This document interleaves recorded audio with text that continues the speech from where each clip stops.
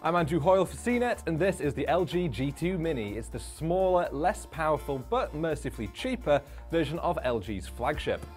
Now it's a funny old world when a 4.7 inch phone can be called mini, but it is admittedly smaller than the 5.2 inch G2. It has a narrow bezel around the screen which helps keep the body size down, so it actually has similar dimensions to the 4.5 inch Motorola Moto G. It's reasonably comfortable to use in one hand, although I'm not keen on the scratchy plastic back, which I think makes it feel a bit cheap. Like the G2, it keeps its power and volume buttons on the back rather than on the side. It's a nice idea in theory as they're positioned exactly where your finger sits when you're holding the phone. Even so, I found they took a lot of getting used to and I just don't think volume button position is a problem that needed fixing to begin with.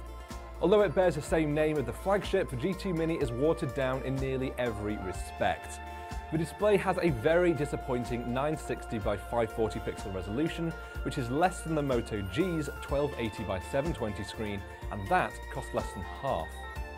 It at least has decent colours and it's fairly bright, but it just doesn't have the clarity around icons or on text that you'd get from a higher resolution panel.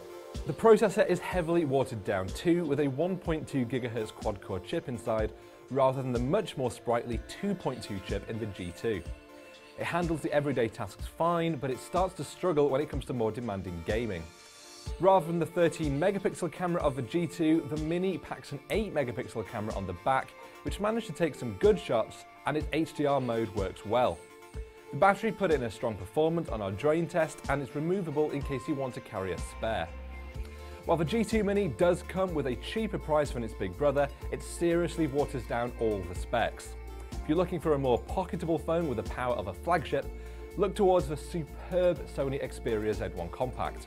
If you are on a budget though, the Motorola Moto G has a better screen, similar power and the same up to the minute version of Android KitKat and it costs half the price of the G2 Mini.